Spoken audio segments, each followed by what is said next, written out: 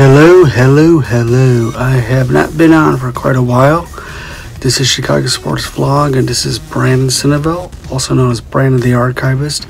Today we're going to talk about regards to the Chicago Bears 2019 draft review. I like, I love, I don't like, but I love their picks, what they did. Living in South Florida, they did pick a guy from Florida Atlantic University, a running back who I liked living here, you see a lot of games, a lot of college football games. In fact, a lot of the players are from South Florida. This is something that happens a lot. So let's get into it. So here we go.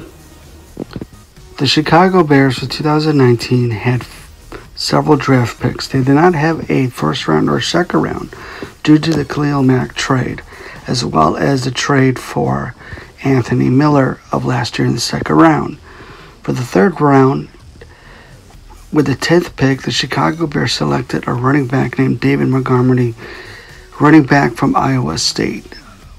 According to the games that I saw, he looked pretty good. I only saw a couple games with Iowa State on ESPN or CW.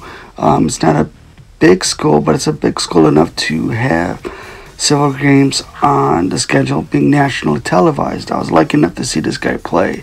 He's a workhorse. He's amazing. So here we go. David Montgomery is a great running back. He kind of has a body like Howard, but then more sleeker, perhaps like a poor version of a Matt Forte.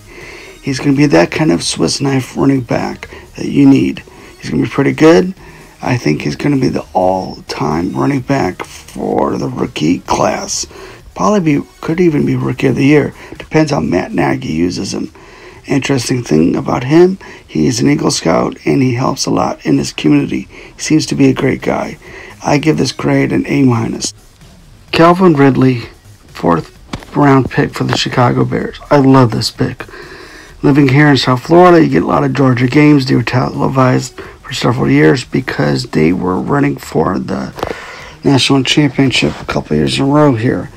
This is a great pick. This is stealing the round. I call this a dime in the dozen, which is not, but it's more of a diamond in the fourth round. We are going to get a great pick with this. He kind of reminds me a lot like his brother who plays for the Falcons.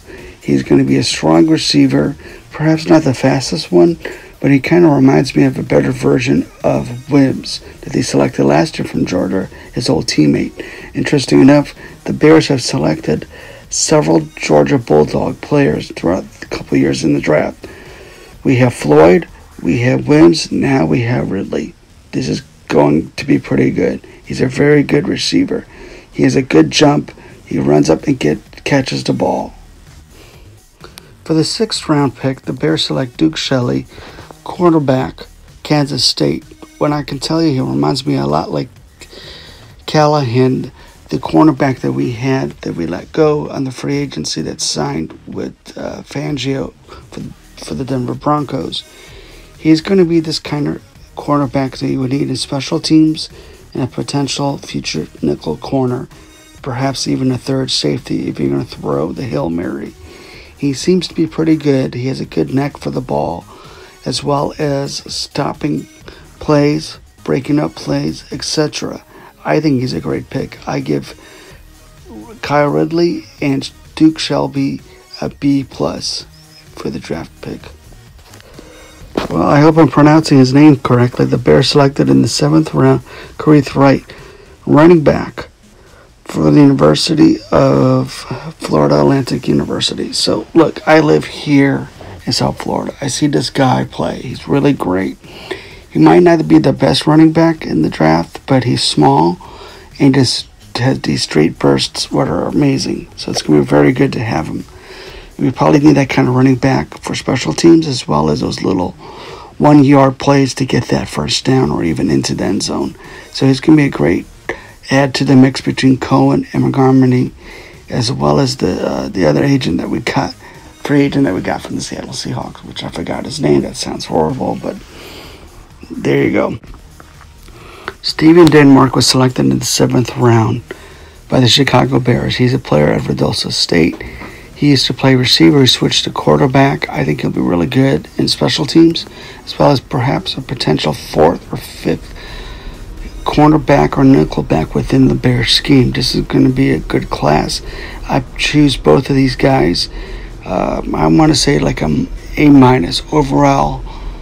Ryan Pace drafted about an A minus uh, draft class this year. He did really good with the small picks that he had. He didn't trade up except for the first time he did in the third round to get Montgomery. That's understandable.